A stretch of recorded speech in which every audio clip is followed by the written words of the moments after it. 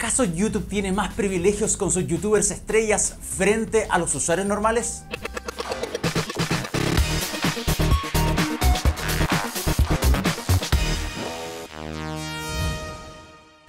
Explotó la polémica en torno a YouTube una vez más por culpa de un youtuber. Personajes que en su mayoría no tienen preparación comunicacional y por lo mismo filtro o ética. En esta oportunidad, el youtuber Logan Paul subió a su canal un video en el bosque de los suicidios en Japón, en el que aparecía un joven que recién se había quitado la vida. Las fuertes imágenes generaron todo tipo de reacciones, lo que significó que Paul bajara el video y enviara distintas disculpas.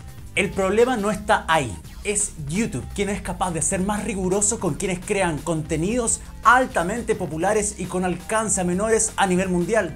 Por ahora la plataforma solo lamentó la situación, siendo que este youtuber subió un video que infringe las principales reglas, pero ni siquiera tendrá hasta ahora una mínima penalización. Cuestión que para cualquier otro tipo de usuario no famoso probablemente ya le habrían suspendido la cuenta. Mira este y todos los capítulos del Express en ohmygeek.net. Chao.